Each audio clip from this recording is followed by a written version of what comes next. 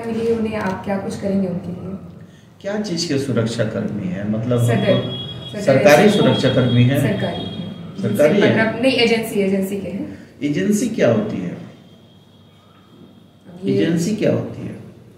सरकारी जगहों पे वो सुरक्षा दे रहे हैं। वही तो दिक्कत है ना। आप सर, सु, सरकारी सुरक्षा एजेंसी भाई एजेंसी क्या होती है? वो अनुबंध पे पूर्ववर्ती सरकार ने अनुबंध पे नियुक्ति तो किया नहीं, केवल अनुबंध पे अनुबंध किया और एक्सटेंशन पे एक्सटेंशन किया।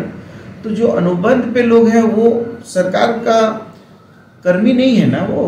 कि सरकार ने उनको निकाल दिया या सरकार ने हटा दिया।